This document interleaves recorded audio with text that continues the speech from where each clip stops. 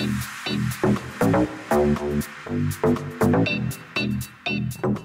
little nugget. You are looking so thirsty today. In the last six months, I thought it would be a great idea to not only move out of New York City, but quit my full-time job, pursue freelancing full-time, and move home with my family. And this is all before I decide to go all the way across country to LA.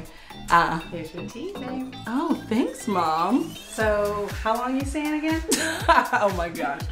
Yeah, being at home has its perks. You know, you get tea brought to you. Cheers to that.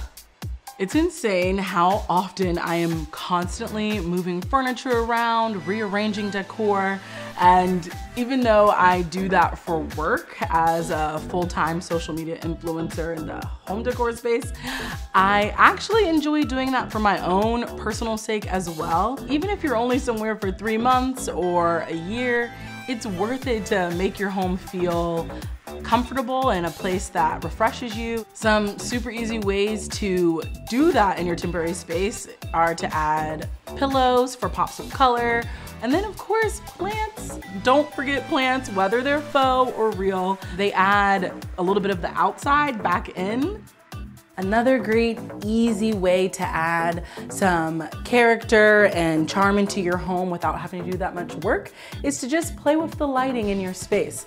What I love about the C by GE full color smart bulbs is that I can completely control the colors straight from my smartphone. And it's not just white light and golden light. You can have red light, blue light, orange light, whatever you fancy. You could have it your way. They have a schedule on them that you can control from your phone as well, and you can set the timer to match your lifestyle.